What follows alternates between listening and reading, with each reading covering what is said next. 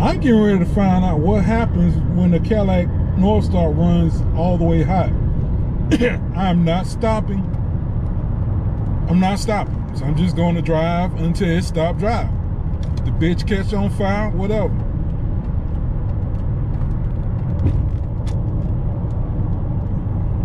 I guess I'll start the video when it hit the completely hot part. Well, the temp light came on and says engine hot, AC off, engine cooling hot. And it just went up to the, all the way to the hot part. So I guess this sucker is actually running hot. Oh well, I'm still driving it home and I'm not stopping. I get to the light, I will cut it off. Hopefully it'll start back up. Hopefully.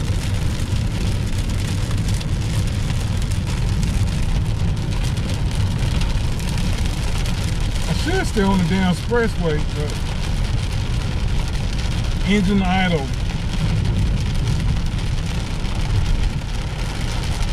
Hopefully it'll crank back up, go through this damn light.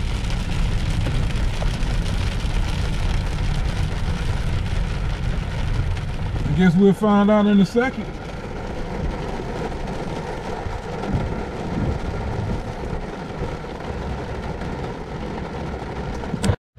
By the way, if you come to a red light, by the way, I gotta crank it. It started up.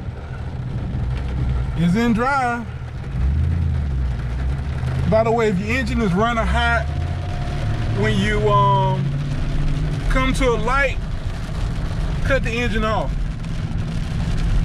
It'll keep some heat from building up in the engine. Some, and it, the temperature has dropped down a little bit, but I can't go much faster. I got somebody in front of me driving slow.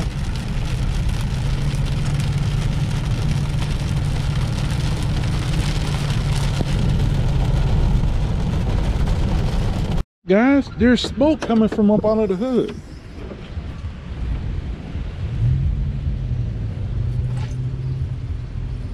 It's not as much smoke as I thought it would be.